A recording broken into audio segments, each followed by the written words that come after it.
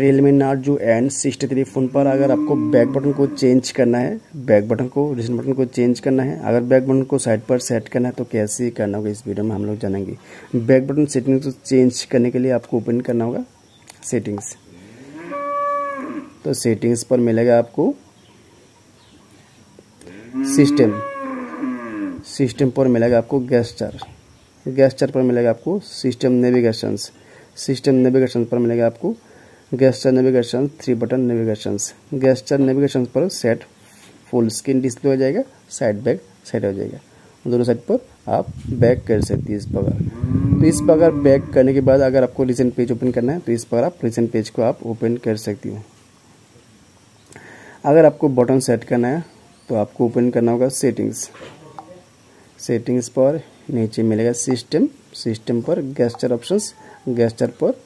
system navigation three button navigation को select करना होगा तो आपका फ़ोन पर फिट से बटन सेट हो जाएगा, नीचे बटन सेट हो जाएगा। तो बटन सेट होने के बाद अगर आपको बटन को चेंज करना है तो आपको ओपन करना होगा settings. Recent button, back button को अगर आपको चेंज करना है, ओपन करना होगा सेटिंग्स सेटिंग्स पर मिलेगा आपको सिस्टम सिस्टम पर मिलेगा आपको नेविगेशन बार नेविगेशन बार पर मिलेगा आपको बटन को चेंज करने का ऑप्शन। इधर से आप बैक बटन और रिसेंट बटन को चेंज कर सकते हैं देखिए नीचे बैक बटन और रिसेंट बटन चेंज हो रहा है।